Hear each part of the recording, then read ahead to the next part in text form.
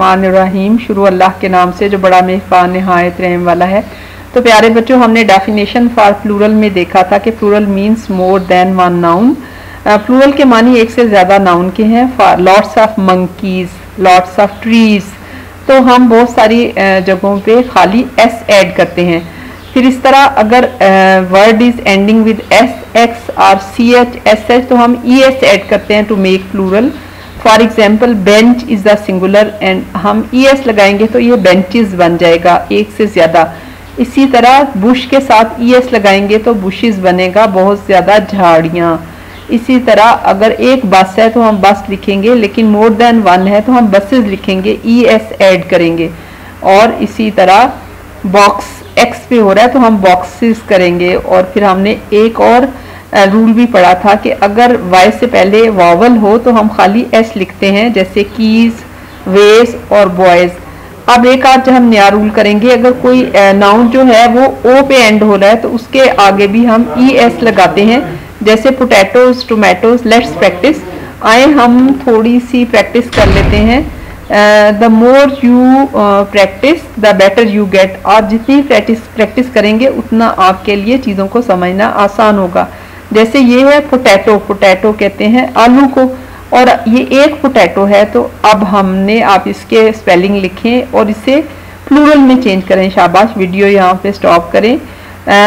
Potato को potatoes एक से ज़्यादा potato potato is a vegetable और पोटैटोज के बहुत ज़्यादा फ़ायदे हैं। पोटैटो जो है, वज़न बढ़ाता है, दिल की बीमारियों से बचत होती है ब्लड प्रेशर कम होता है इसे खाने से। दिमागी सलाहियत बेहतर होती है, जोड़ों के दर्द से निजात मिलती है, गुर्दे की पथरी से बचाता है और कब्ज़ कुशा होता है। ज़्याबितस के मरीज़ इसे खाने में एहतियात करनी चाहिए। ये इसलिए होता है कि इसके अंदर कार्बोहाइड्रेट भी है प्रोटीन भी हैं, इसके अंदर वाइटामिन सी है और मिनरल्स भी हैं। तो इसलिए ये एक सस्ती सब्ज़ी है, हमें इसे अपनी खुराक में शामिल करना चाहिए। वॉल्केनो वॉल्केनो जो है आप देख रहे हैं कि ये एक ओ पे एंड हो रहा है इसे हम प्लूरल बनाएँगे तो ये बन जाएगा वॉल्केनोज तो वॉल्केनो जो है आतशफिशां को कहते हैं। ज़मीन के अंदर मैग्मा होता है मोल्टन मावा जिसको कहते हैं। और जब ये ऊपर से अर्थ क्रस्ट में से इसे सुराख मिलता है तो ये लावा बाहर आ जाता है। ये एक कुदरती फिनोमिना है और इसमें पिघला हुआ लावा जो है वो बाहर इर्द गिर्द फैल जाता है और इसमें बहुत ज़्यादा तबाही मिचती है जहाँ जहाँ ये लावा निकाल, जाता है और इसका 1250 डिग्री सेंटीग्रेड तक टेम्परेचर होता है। वीडियो यहाँ पे स्टॉप करें। अगर आपने इसमें प्लूरल फॉर्म में लिखना होगा तो क्या करेंगे? वॉलकेनोज एक से ज़्यादा वॉलकेनो तो दुनिया में बहुत सी जगह ऐसी हैं जहाँ पे आतिशां फटते रहते हैं। ये क्या है? बफलो बफलो कहते हैं, भैंस को। और हम अगर आप इसको फ्लूरल में चेंज करेंगे तो क्या लिखेंगे? शाबाश। क्योंकि ये ओ पे एंड हो रहा है तो हम इसको लिखेंगे बफलोज बहुत ज़्यादा भैंसे। आपको पता है कि अल्लाह ताला ने इस जानवर को दूध देने वाला बनाया और इसके दूध में बहुत से फ़ायदे हैं। ये, क्योंकि इसमें कैल्शियम होता है, ये हमारी हड्डियों को बेहतर करता है, ये हमारी स्किन के लिए बेहतर होता है, और इससे हम वज़न भी हासिल करते हैं। ये जो है दिल की बीमारियों से भी हमें बचाता है। तो हमें, अगर हम दूध बेचते हैं तो हमें चाहिए कि हम खालिश दूध बेचें, उसमें मिलावट ना करें। फिर मैंगो मैंगो जो है, वो एक किंग ऑफ़ द फ्रूट्स है, फलों का बादशाह है।